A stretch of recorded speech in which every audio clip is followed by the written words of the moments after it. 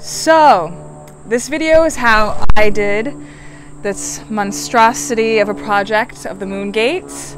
I did it all by myself, except for a little bit at the bottom I had some help with before the the people who said they were going to help kind of quit. They're like, this is too crazy. We're going to leave this girl alone. And I had to finish it all by myself. So everything from maybe two feet up, I had to do by myself.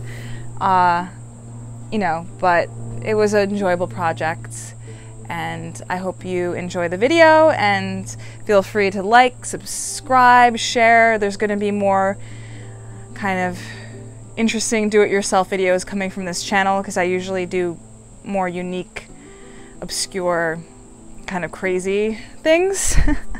so I hope you guys enjoy and let me know if you have any questions in the comments below. So this video is documenting how I did the moon door. And starting from the beginning I did a outdoor kitchen with a pizza oven.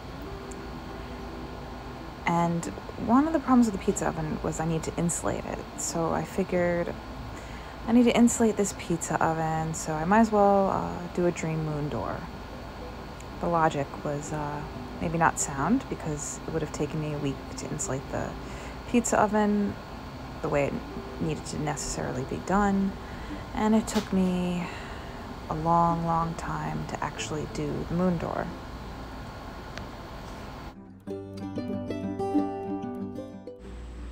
Because the moon door was so intricate and it needed to be completely stable, I did a foundation four feet below the ground, filled it with cement and rebar so it could support itself um, for frost prevention because water can get down and freeze and push up the stone. And that's a big problem with stone walls in New England where I live.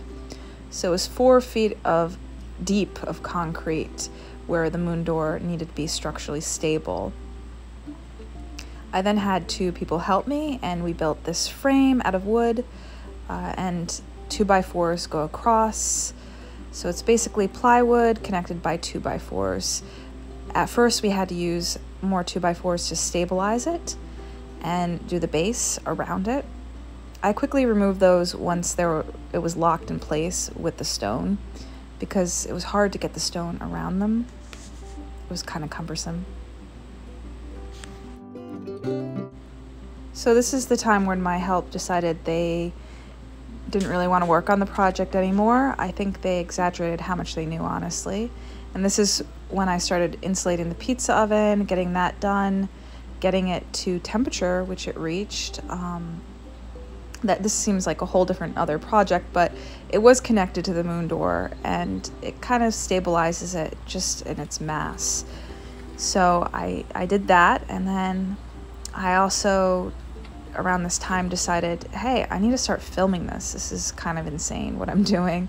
So I got it to temperature and then got back up to the wall. Uh, did another moon moon window, and then I started filming. I have a separate video of how I did a peacock on a piece of marble. This is the marble, and this is me at the quarry. What I do is I go collect stones at a local quarry, and then I put my truck and then I dump them out and I make the wall. So I've probably done maybe 30, 40, 50 quarry runs, it seems. I don't know if that's an exaggeration or an accurate estimate. I go there a lot, sometimes twice a day. Those are usually really hard days.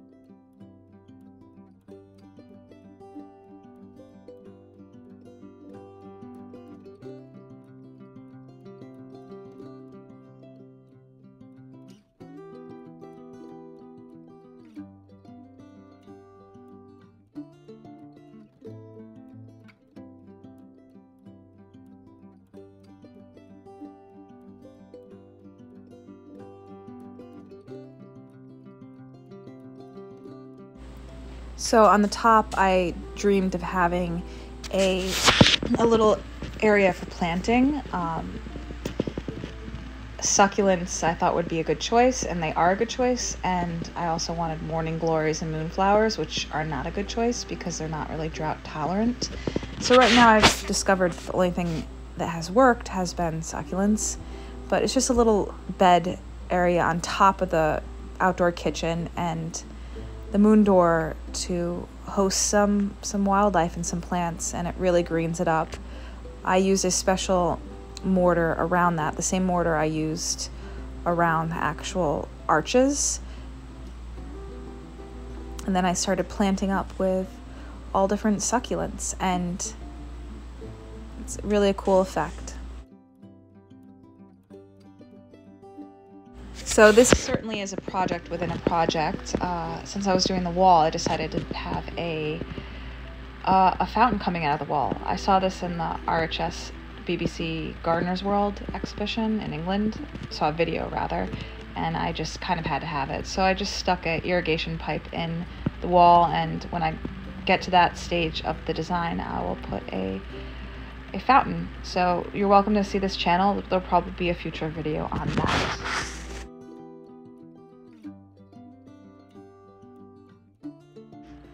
Another project within the project is the stone carved peacock, which there's a video on this channel of that as well.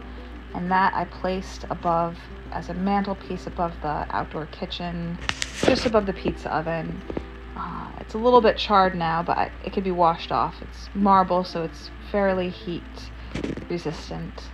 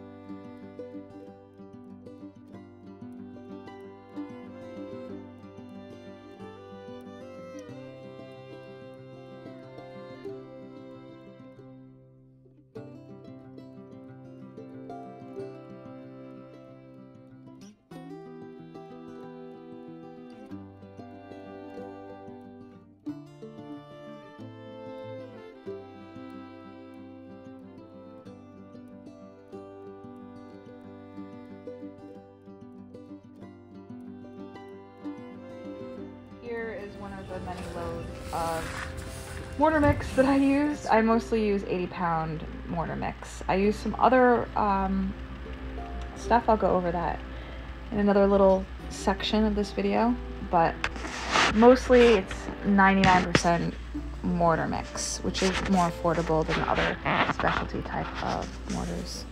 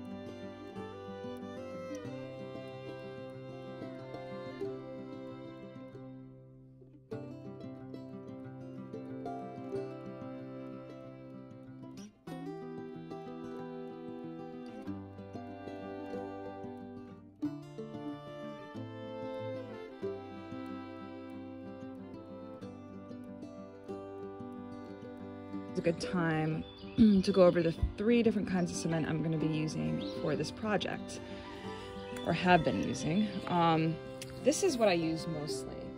It's the cheapest one out of the three, and it's a, it's a mortar, and that's what I use for the walls. Now, for detailing and around the arch, I use this one, high strength structural repair and mortar mix. Um, what I do is I fill in the gaps with some of the kind of specialty stone that I collect, like slag and the mica detailing. Um, and I use that to fill in the inner crevices with, with some of those. And I also use that for the arch. So the arch detailing, I use that. And it's a little bit whiter. As you can see right here, the one on the left is the, the regular mortar and the structural mortar is on the right. And I also use it in detailing such as this, the slag I put in, where it's kind of being held in as a, a veneer. Um, it's a little bit more sensitive the way I do that, but I, I like these little detailings of the slag and here, here's a slag. I'm gonna end up having to polish it, get off all the excess and the mica detailings I have throughout. I, I use that as well. And also I use it around these that I use as a planter. So these are just stones that are long and I put them on the edge and then I have the soil on the back with some plants inside. So that's where I use that. So you can see the difference between that and all around the arch is the structural mortar. And today and yesterday, I'm going to be using this one. I, I, as you can see, I opened it. It's um for heat especially, and I'm using that around the pipes. Um, I have kiln fabric I'm using also, so it might be a, a little too much between the kiln fabric and this because it's not with the film fabric. It's not letting out a lot of heat, but better safe than sorry. So I use this. I used it with fire brick and that's probably more what you should be using it for. But I found that it also um, makes so basically with mortar uh, in general, if it's able to stop water, it's able to stop air, and if it's able to stop air, it's able to stop water.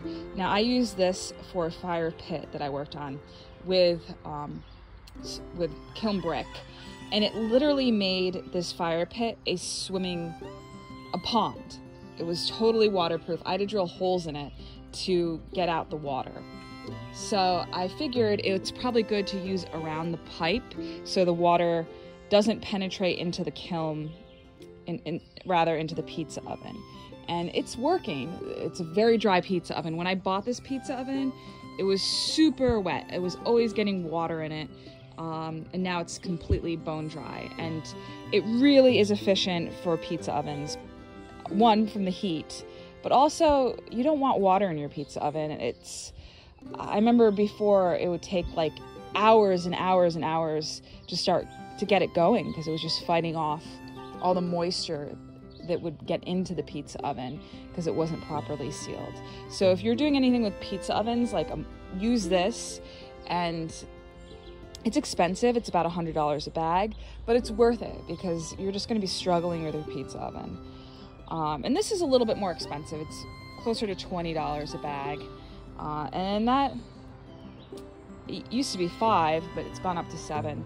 So as far as cost, this is the, the big workhorse that you that I'm using on this project. And the third one, disregard, that's for a different project. It's a post mortar mix. And that is all, folks.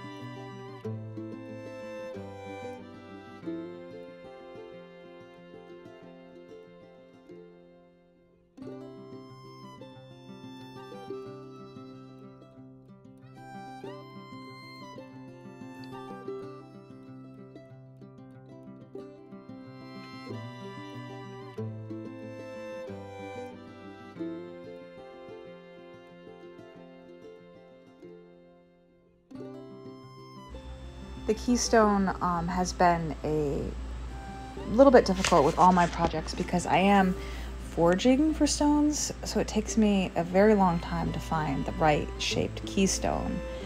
But that said, I found some that worked, they locked in place, but it just took me a very long time.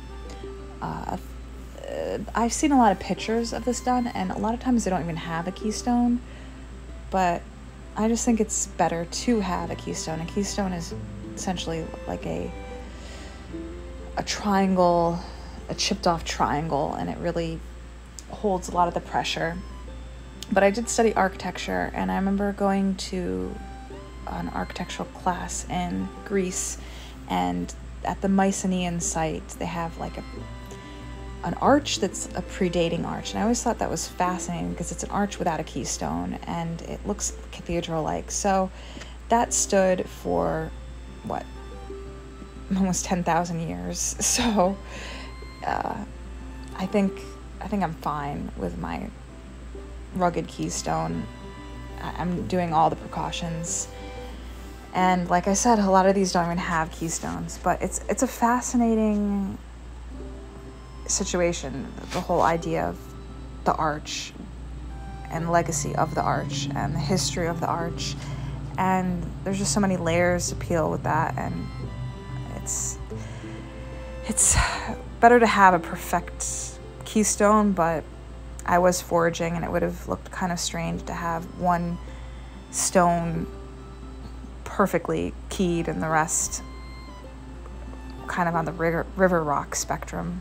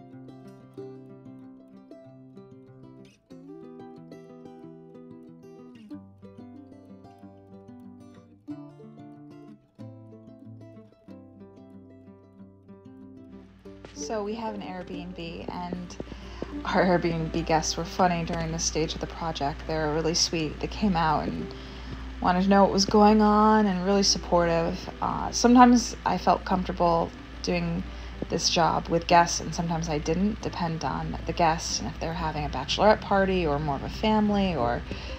So it was kind of fun. These were a special guest we had that kind of encouraged the project a bit.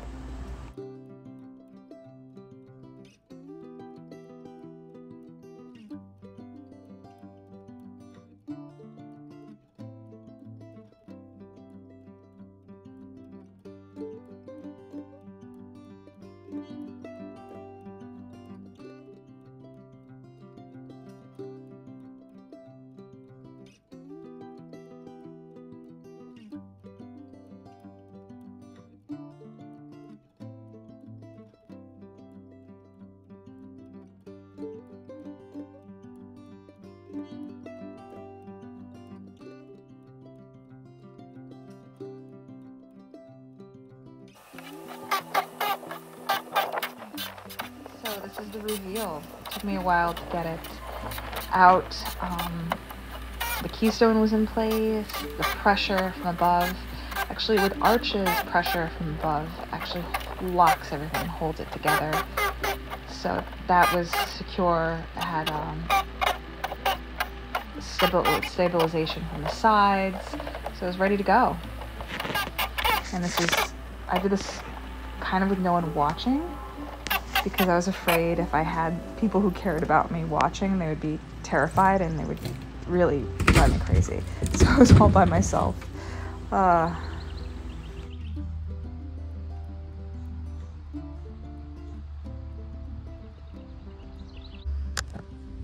okay, I did it. No one is here but me, so I'm a little bit shaky. Ooh. So, it seems to be standing okay. As you can see, I, I took apart the side. I forgot about the middle piece, but it ripped off with uh, tension. It seems to be holding okay. Um, yeah, I think I, I think I did it. I'm a little bit nervous, obviously. Uh, I'm gonna try to, I'm gonna go under it. Hope I don't. So it seems pretty, pretty sturdy. This is a rock that fell in, obviously. Get it out of there. And a pillow that kind of got in there somehow. Other than that, it's pretty good. Um, I'm gonna maybe try to wiggle it out the other side or take it off the same way I did this one. Whew, so, okay.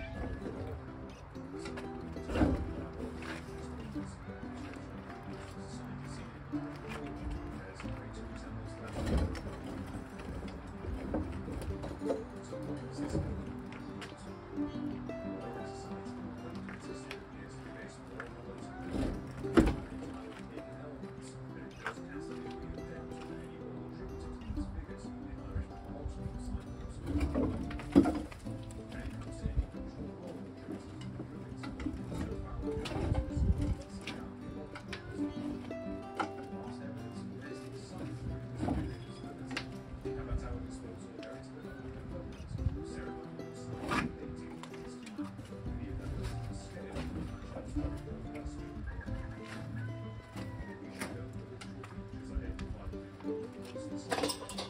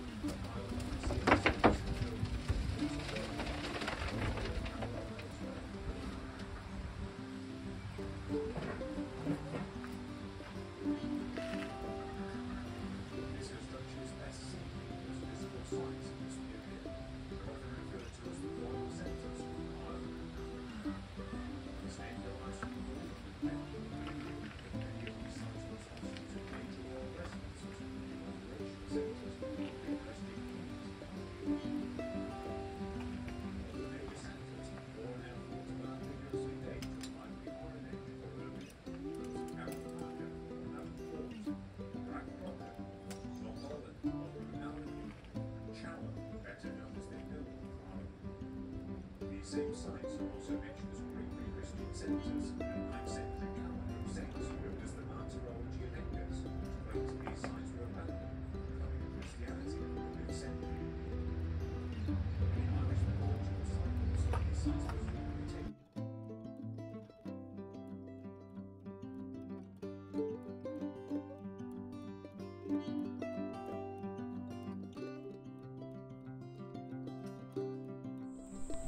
Ta-da!